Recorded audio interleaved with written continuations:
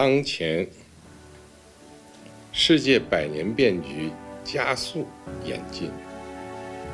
人类社会面临的风险挑战增多，要解决这些问题，离不开大国的合作。中德是世界第二、第三大经济体，巩固和发展中德关系的意义已经超越了双边关系的范畴，对亚欧大陆乃至整个世界都有重要影响。我们要从长远和战略角度全方位看待和发展双边关系。牢牢把握中德是全方位战略伙伴这一共识，携手为世界注入更多稳定性和确定性。